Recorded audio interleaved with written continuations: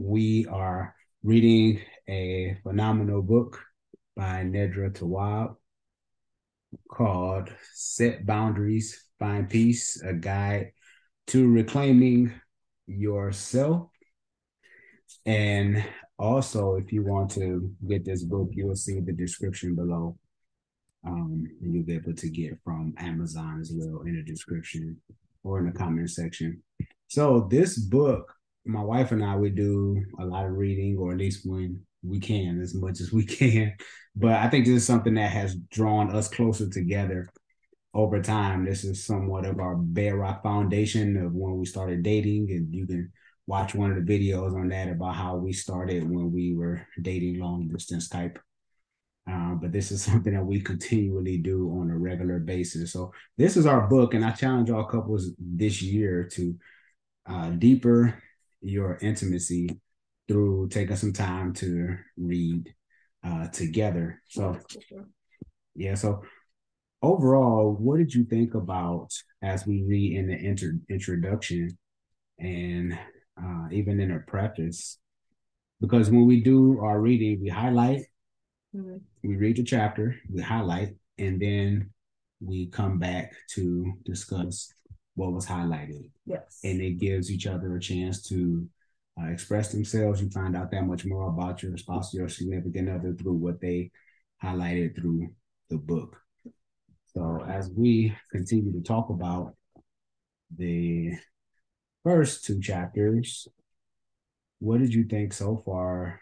Uh, was there anything that you saw in the preface or in preface or preface, preface, wherever you're from. You know, I'm from Ohio, so uh, yeah. So was there anything that you saw in the preface in the or in the, in the introduction?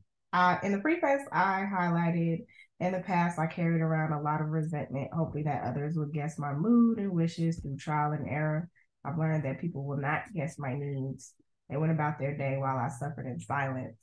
I know that there are so many times where I would just hold I would I did it with you. I wasn't there mm-hmm. and hope that you would just know what I was feeling. Mm-hmm. And I just assumed that you should know how I feel about certain things instead of me actually voicing it. Mm-hmm. And even through counseling, my counselor would always tell me, Well, how would he know if you didn't tell him? And I'm like, he should I'm, I look upset. He should just know that I'm upset. And I realized later that that wasn't fair to you. So when she said that, um, I was like, oh yeah, I do that all the time. Mm-hmm. Um, and that was just in the in the preface mm-hmm. or preface, she would say.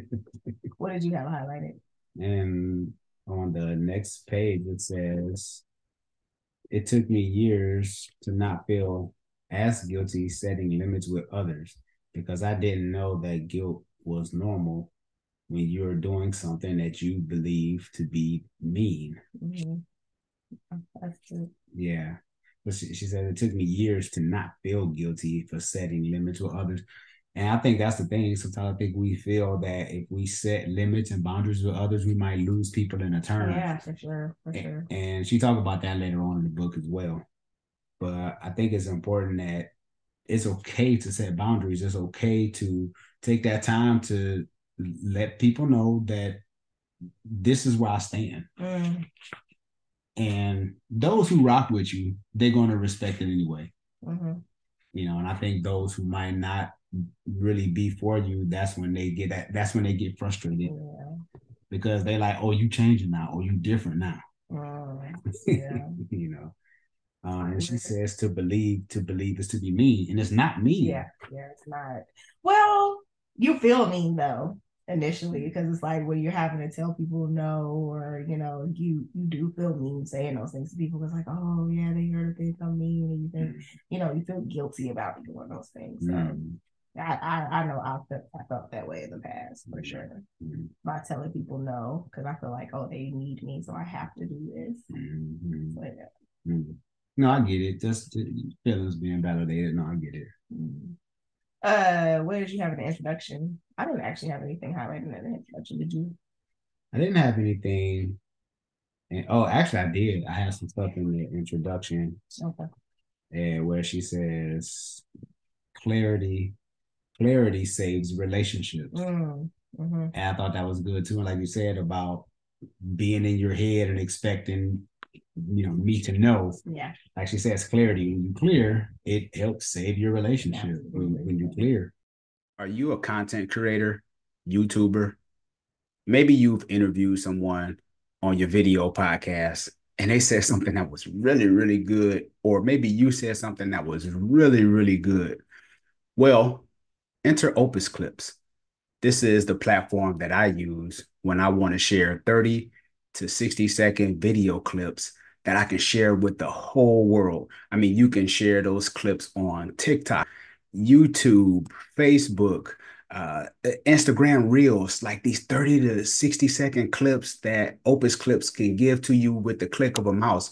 All you have to do is upload the recording and boom, Opus Clips within maybe 10 minutes will give you 15 to 25 different clips with description on the side of the video.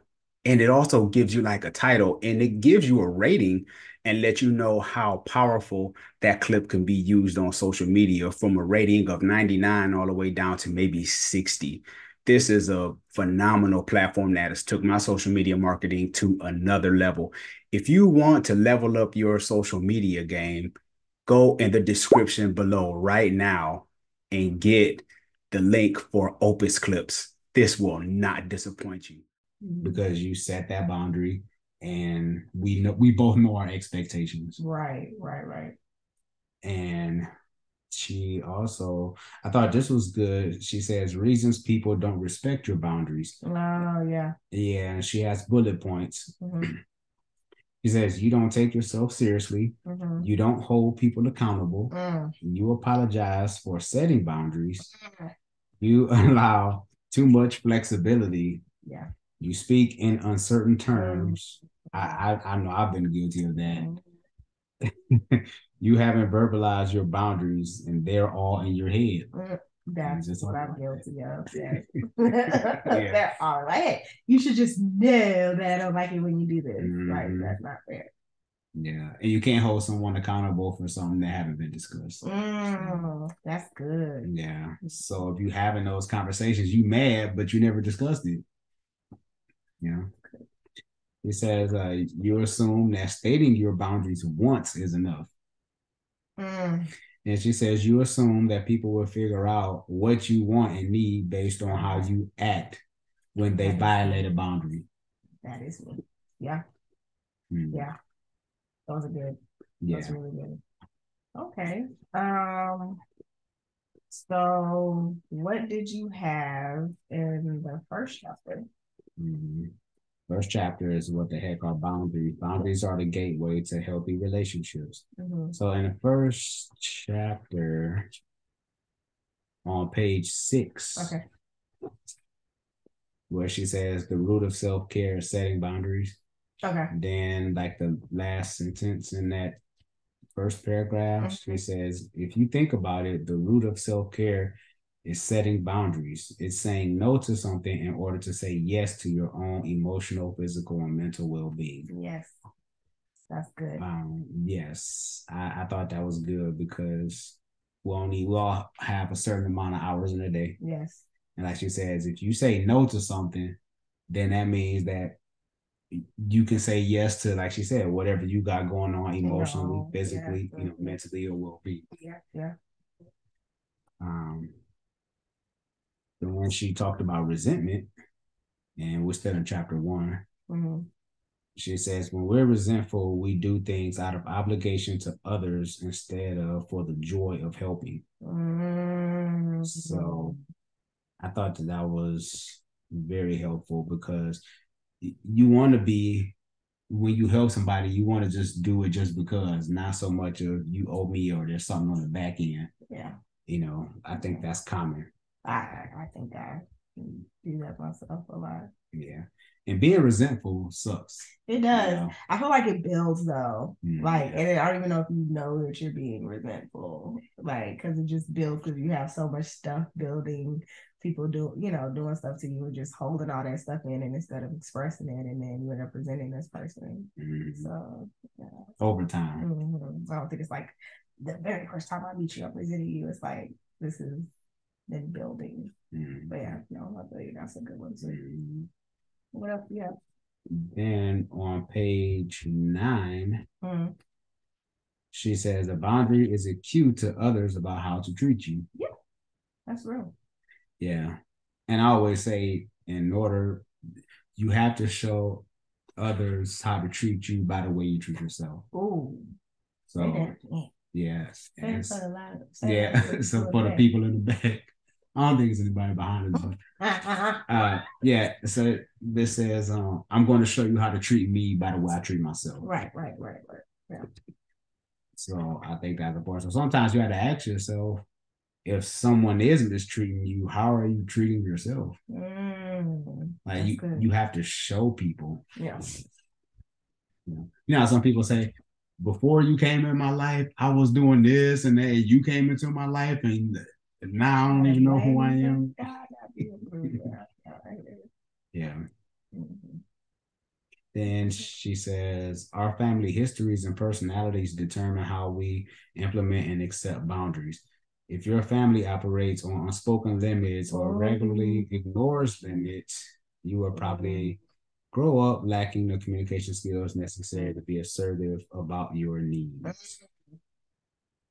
So, yeah, I think a lot of it comes down to the family history. Mm-hmm. And, and then the personalities, like, you know, if you deal with somebody who has uh eggshell personality. You have to tip so on eggshells to talk to that person. It's going to be very hard to like articulate yourself and really get your needs met because it's like, oh, every time I say anything, they mm-hmm. go crazy or they get mm-hmm. upset, or like you have a parent that you know doesn't allow you to express yourself, or you know, you know, you have old school parents like I did. We didn't tell our parents nothing. There was no, I feel like this or mm-hmm. I need this. Like you just have to accept whatever they say. You moving on about your business. Mm-hmm. Uh, yeah, uh, yeah, that's true. She says if your family operates on unspoken limits or regularly ignores limits, you'll probably grow up lacking the communication skills. So, and that, that's all facts. Yeah. Because um, I grew up like that too. Yeah. You, know, you, you just did whatever yeah, mama, said, said, you know. Whatever they say. Mm-hmm. You know, ask some questions and even if it's something like you had going on anyway, like it's like, nope, you gotta go do this instead because it's not mm-hmm. Yeah. Uh, chapter one, I had a whole bunch of stuff in chapter oh, one. Okay, go. Yeah. So, and page 14 says most people on the top, mm-hmm.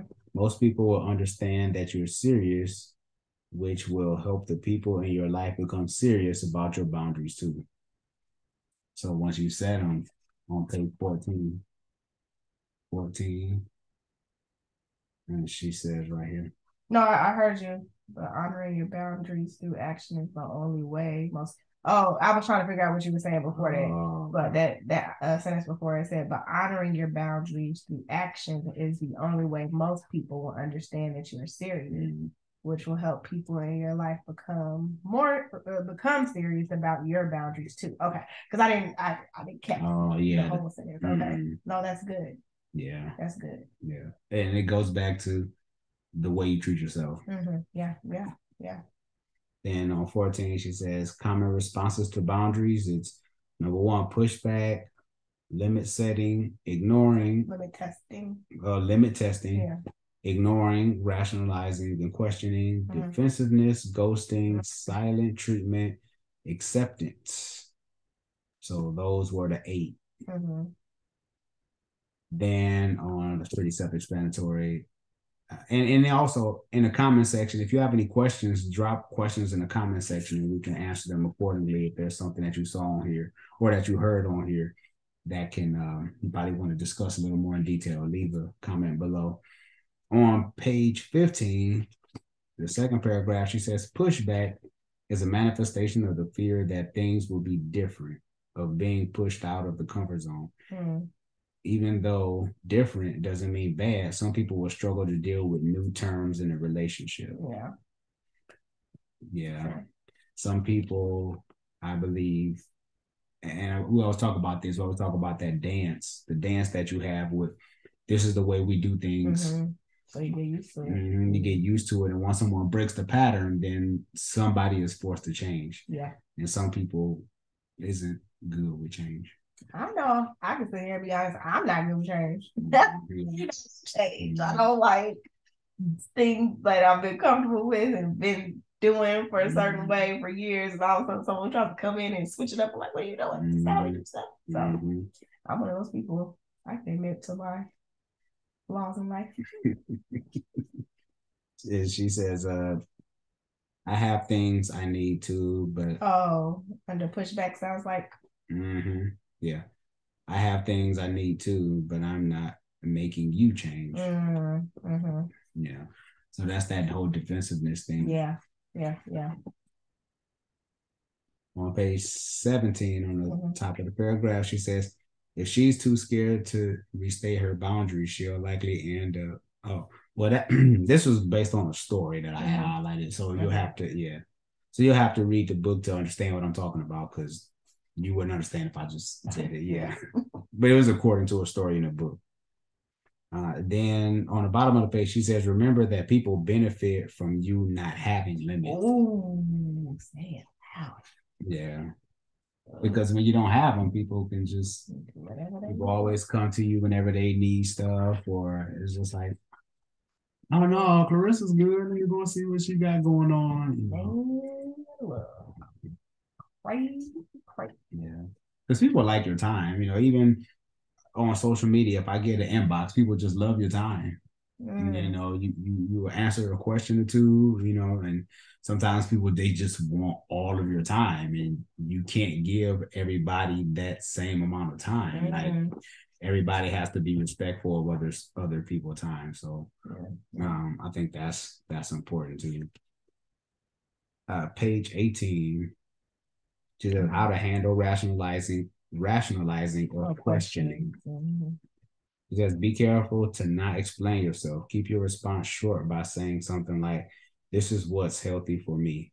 Saying too much will put you in the back and forth negotiation. I had that same thing highlighted. Mm, That's like because it's like you wonder, like, okay, say I do start trying to set these boundaries, like, and they do, you know, be like, well, why you can't do that? And you mhm, can't do it for me just this once. And you know, and it's like because people are, you know, some people will do that to you, especially if this is something new for them when you've always said yes to things and all of a sudden you're saying no. mhm. Like they're gonna question it. It's like, so how do you handle that questioning? Do you because me, I would break. I'd be like, oh, okay, it's fine. I'm just do it. Don't worry about it. Like, or it'd be like, I'll compromise. Like, oh, I'll do it today, but I can't, you know, um, I'll find a way to still appease the person. So uh, saying that this is healthy for me, like, and doing the back, like she said, like saying too much will put you in a back and forth negotiation. I'm always in the back and forth negotiation. A lot of times, like I negotiate, and there's times where I don't even have to, and I end up putting myself there. You know, what I'm saying like they didn't even question me. I'm like, oh well, I can do this, and, you know. So Mm. get that. Uh, anything else? And then mm, chapter one. Okay, so that was chapter one for what I had. So Okay. Well, We I think only back. had a couple of things that you didn't have highlighted. Um, on page 13, I had people cannot accurately assume your boundaries based on your body. Oh, you did say that. Oh, did you? No, I didn't. Oh, people cannot accurately assume your boundaries based on your body language and unspoken expectations. When you explicitly state what you expect, there is little room for others to misinterpret what works for you. Um, I think that was big for me because, like I said, I expect people to assume what I'm saying based off of Mhm. my body language or how I'm acting. Like he should know because Yeah. I'm obviously giving him the cold shoulder, so he should know I'm upset about this. But instead of, I need to start stating, and I I have started stating Mhm. what you know I need from you. Mhm. Let's say, and that way you're not misinterpreting it because you might assume that I was mad about something I was totally not mad about. So, um, on page 17, where it said how to handle ignoring, um, it says restate your boundary, request that the other person repeat it back what you stated. Um,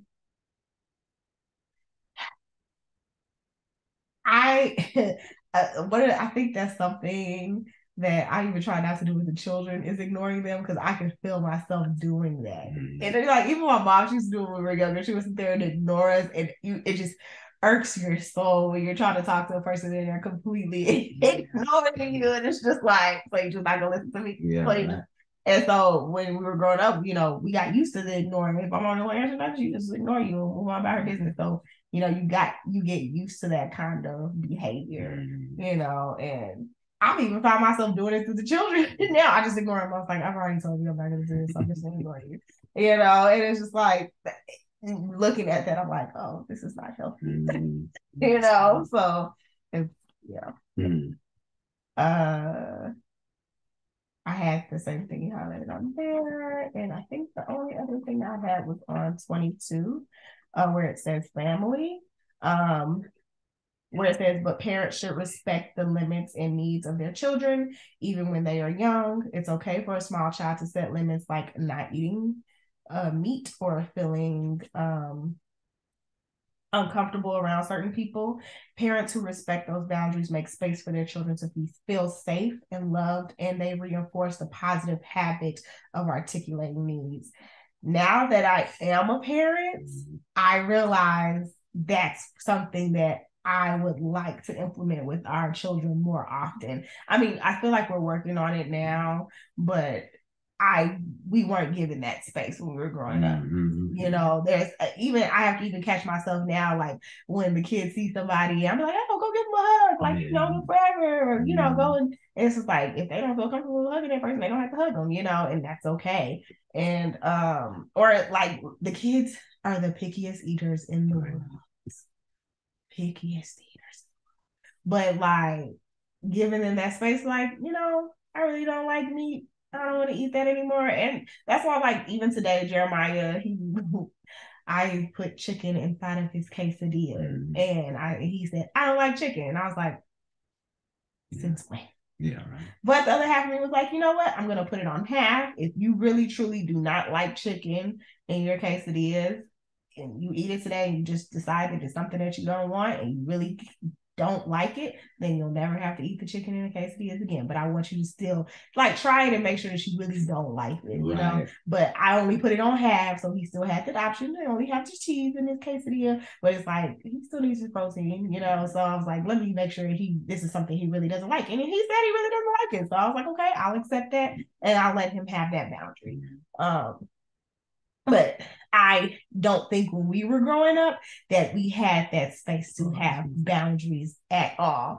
And I just realized now, I was like, that's that was unhealthy. And granted, our parents didn't know because they weren't given boundaries. So they're only doing the things that they learned, mm-hmm. you know. So it's like I feel like I don't want that for our children. Yeah. I want them to have be able to have boundaries and enforce them and then be able to articulate their needs like be able to tell us like hey I feel I feel really uncomfortable about this, and I really don't want to do this. Mm-hmm. You know, mm-hmm. I feel really unsafe right now. I feel better, and then you know we can help them to find ways for them to feel safe, and you know give them let them come up with that process of feeling safe and feeling comfortable and how they can do things because you know we live in this world where you're gonna feel that way all the mm-hmm. time. So you know helping them find ways to make themselves comfortable in an uncomfortable situation mm-hmm. and letting them figure it out for themselves because mama and daddy are not going to always be there to figure it out so i feel like by them articulating themselves and learning how to advocate for themselves early is going to be healthy for them mm-hmm. um, because i can think of so many adults who to this day don't articulate themselves or are not able to uh, are, uh, advocate for themselves mm-hmm. for the things they want they just take shit all the time mm-hmm. excuse my language but for like they, they, just take it. Um, and I think that's all I have on chapter one. Chapter one. What did you have on chapter? Mm-hmm. So we're going to go into chapter two right now. And chapter two is the cost of not having healthy boundaries. And she quotes Brene Brown by saying, choosing discomfort over resentment. Mm. Uh, big fan of Brene Brown works. So we read we read one of Brene Brown mm-hmm. books. I think it's the gift the gifts of imperfection. I believe. Uh-huh. Yeah, yeah, but we read that book together. Yeah, um, chapter two. Let me see what I have on chapter two. On page thirty-five. Mm-hmm. She says, First, let's take a closer look at anxiety. It is often triggered by setting unrealistic expectations, the inability to say no, people pleasing, and the inability to be assertive. When people come to me with anxiety, we begin to dissect the different aspects of their lives and to work on ways to minimize triggers that cause them to become anxious. Mm. Based on my experience with clients, the biggest trigger for anxiety is the inability to say no. Mm. So many, so helping people with anxiety means assisting them in setting boundaries. Mm. Then, then she says, so setting a limit about what we what we're really able and willing to do is one way to manage anxiety triggers. Unrealistic expectations of yourself and others also can trigger anxiety. Mm. So, I, yeah, I think that unrealistic, unrealistic expectations. Yeah, I struggle with that too. Mm-hmm. I have so many crazy expectations of myself. Oh, of yourself. Oh.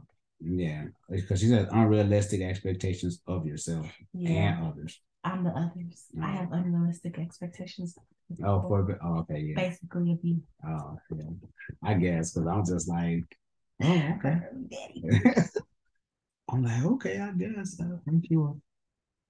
Um, but she talked about the anxiety triggers, uh, inability to say no, and people pleasing. So I think those are really good. I think a lot of people struggle with that. Oh yeah, for sure the inability to say no. And no is a is a complete sentence. I don't take those no's that are complete sentences.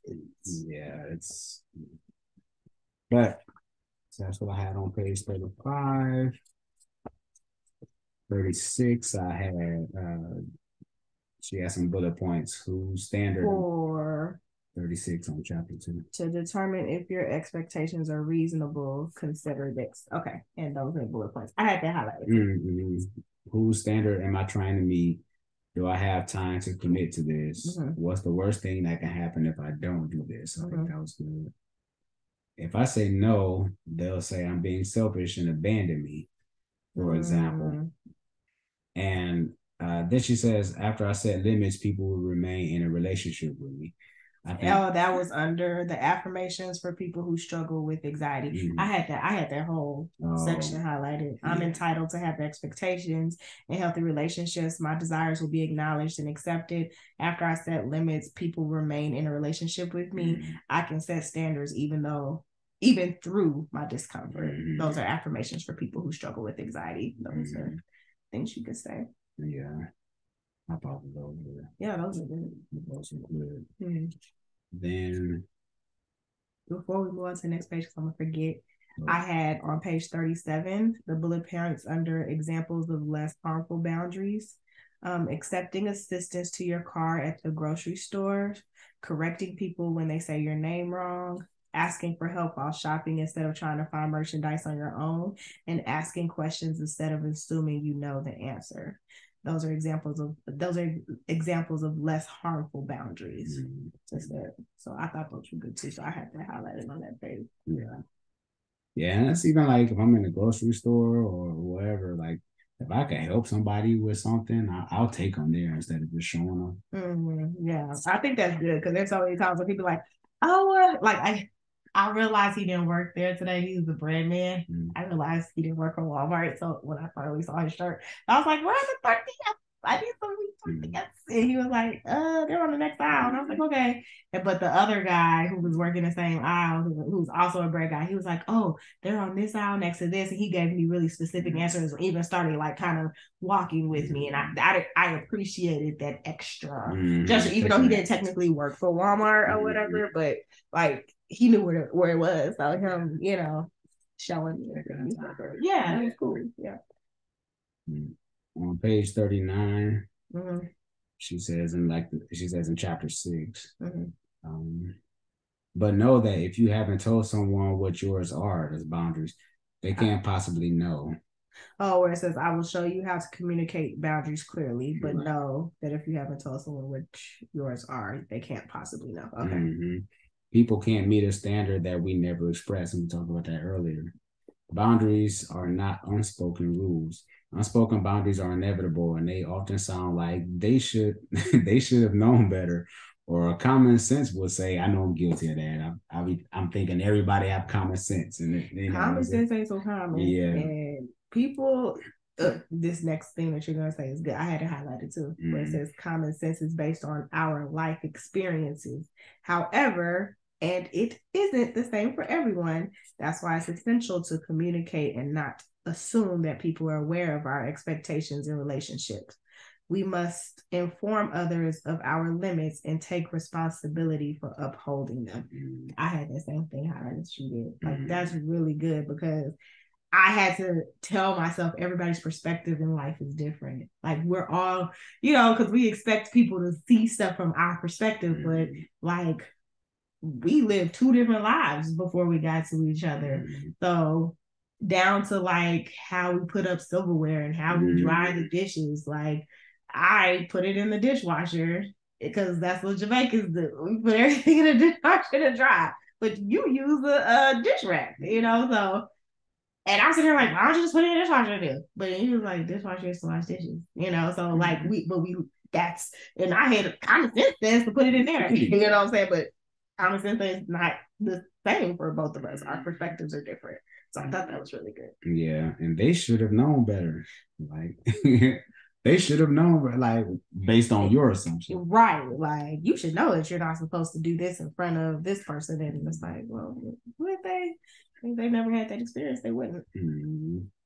And she says, simply put, relationships without boundaries are dysfunctional, and that's on page 39. Mm-hmm. Unreasonable and hard to manage. They operate mostly they operate mostly based on the assumption that something magical will happen to turn out to turn it all around. But hoping that our relationships will repair themselves out of nowhere is a long shot at best. Mm. And I, yeah, and I think most people aren't willing to do the work. I think mm. people want they want the relationships. Like people, some people they want what you have, but they don't want to do what you did to get it. Because they don't know all the pain and heartache and yeah. grind you had to do to get there. Sleepless nights. Mm-hmm. That's a lot. Yeah, so you would tell them certain stuff. You tell people like, okay, do this, this, this, and this, and they be like, oh yeah, that's cool, but and I'm just like, okay. And that's then right. and then they they sending you a DM three months later with the same issue, and I'm like, well, did you follow through? You know, so you gotta. That's why I tell my friend the other day, like if someone's actually taking, you know, your advice, it's a lot easier for you to you know, have people tell you things. It's like they listen when I'm telling them stuff. Mm-hmm. So yeah, I get it. Yeah. And those are the people you don't mind sewing into because mm-hmm. they won't listen. Mm-hmm. And then on page 40, she says they believe that their self care is at the expense of being there for another person that is referring to without boundaries in relationships, we also can't have healthy self care practices. In fact, most people without healthy limits think that engaging in self care is selfish. So it feels terrible when they try to do it. They believe that their self care is at the expense of being there. Their self care is at the expense of being there for another person. Mm-hmm. Okay. Yeah, self care brings up feelings of guilt because they feel like others will fall apart without their help. Mm. In these kinds of relationships, our role is that of a helper. We worry about the other person and don't trust that they can care for themselves unless we enable them. So, yes, that's. See, I have to do everything for everybody because it's like I don't do it, it's not gonna get done. Mm-hmm. Or he has to have me here, especially like dealing with elderly parents yeah. and stuff like that. That's you kind know, of a different monster though. Yeah, yeah, that's true. Mm-hmm. But you feel like you have to be there, like every single little thing, because it's like their world's gonna fall apart if I'm not in it. And all the times we be enabling them to not do stuff, and they could perfectly do it on their own if they had to, but we're enabling them not to because it's like, oh, I know Clarissa will do it, or I know mm-hmm. my son will do it. You know, it's like. Yeah yeah, by default there too. Okay. I think that's most of us, right? You know, somebody do something, do it for you. You're like, oh, why? Yeah.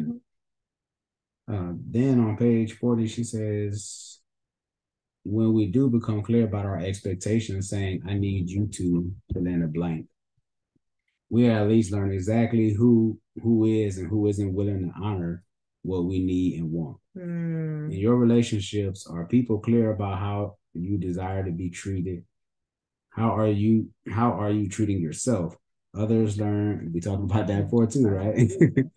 Others learn a lot about you from watching how you treat yourself. Mm-hmm. People can sense a lack of self esteem and neediness based on how you talk to yourself, talk about yourself, and treat yourself behaviorally. To be kind to yourself, uh, to be kind to yourself because the people in your life are watching. This doesn't mean that people have a right to be mean. I highlighted that too. Mm-hmm. That was good. Yeah, that's good because, and this is I learned over time. Be careful how you talk to yourself to other people. Mm.